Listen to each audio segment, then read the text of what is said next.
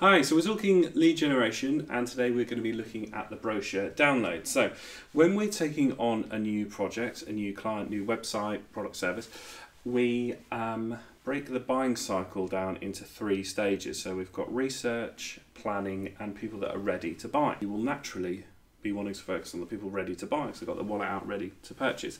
But if you get in there early in the research stage and you build a relationship, you've got more chance when that person is ready to buy that they're going to buy from you because they like you and they're familiar, they've got trust. So that's why we do it and that's why we focus on it. So we find it's really important. So, the brochure download, I've been reviewing a lot of websites. I do all the time, all day long, hundreds and thousands uh, of, of websites. A lot do have a brochure, uh, and the amount of times that I can go to a website and I can just download the brochure and the the company have no idea that I've done that because there's no tracking, there's no, you're not asking me for any details. I can just go in uh, and look and download that.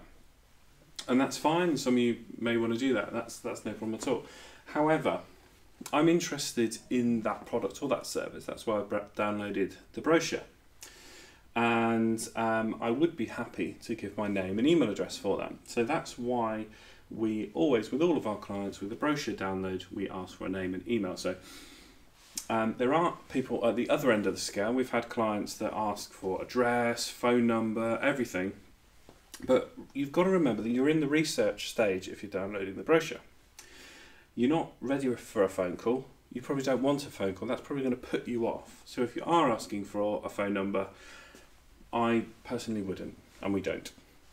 But we can offer a hard copy, so a copy in the post, if it's beneficial to you as a business, if you're happy posting that out and the customer wants it. So on our forms, we have um, a PDF option or hard copy as well in the post. And if you click the hard copy option, then the fields will appear with the address.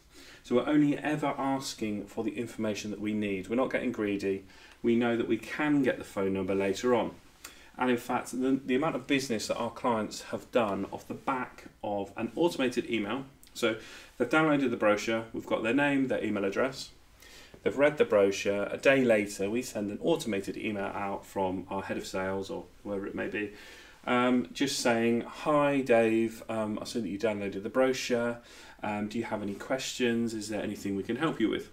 Now, the reply to that email has generated more business because we are sparking a relationship really early in that buying cycle.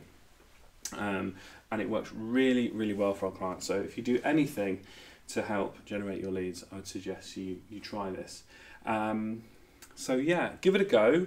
Have a look at what you're doing with your brochure download. If you've got a brochure, it can work for uh, services and products as well.